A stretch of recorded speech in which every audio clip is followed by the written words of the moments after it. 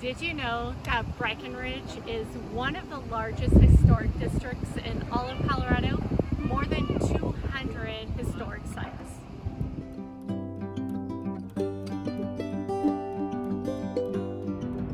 Hey guys, we are sitting in front of the oldest cabin, not only in Breckenridge, but all of Colorado.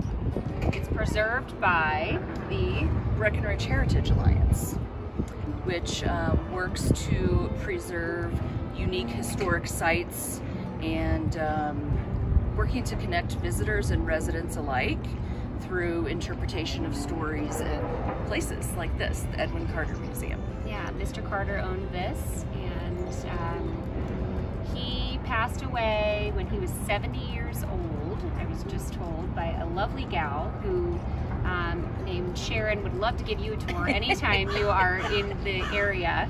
Uh, but yeah, the Heritage Society is an awesome, awesome group and um, a, a really beautiful way to learn more about where we're from and where you're visiting. Connecting our past to our present to the future.